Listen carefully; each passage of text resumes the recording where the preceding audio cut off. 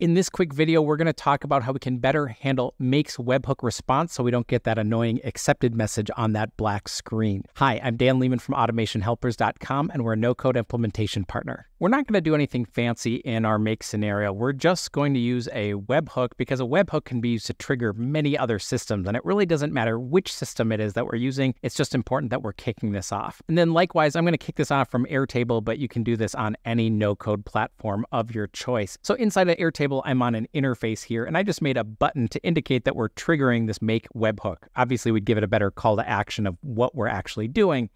And I'm just doing an external URL and I'm putting in the webhook URL here to open up in a new tab. But notice that there's different ways that we can actually trigger these webhooks. This is more of an Airtable thing. So you could potentially use an Airtable automation to be able to have a script and within that script be able to trigger that webhook. And we do that a lot as well. The downside here is that you're also consuming Airtable automations, which counts against the number of automations that you have depending on your plan. So that works for some things, but you don't necessarily want to do that as your default. The advantage is that you don't get that black screen that pops up that says accepted. So if you're not sure what I'm talking about, let's just go ahead and toggle this on. And if I click this button, this is what you see. This is kind of the default make experience. So it says accepted, which is nice to know that, hey, something has occurred we know that it's proceeding, but it's a little bit annoying. And then we have this window opened up, and we probably have to manually close that. So it becomes annoying. How do we handle that?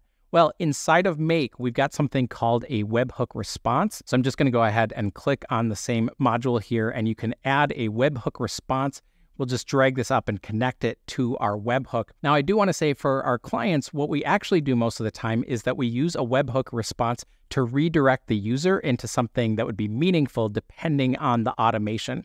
So, for example, when we have people who want to initiate an invoice process or initiate DocuSign, what happens is they click, they trigger that webhook, but then we redirect them to the document after the fact. So webhook responses can actually be used for way more meaningful automations. But in this case, we're just saying we don't really have a good use case. We just want to be able to close that window so that nothing happens.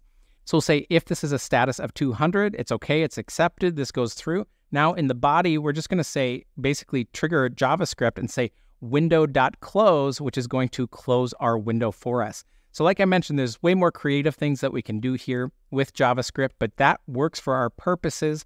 Let's make sure that we save that. And then if we head back and we trigger this, now that's going to open and close that window so we don't have that extra action of making the user click that button to close it. If you have any questions about Make or Airtable and how to get up and running, feel free to reach out to us at automationhelpers.com we're offering free 30 minute consultations.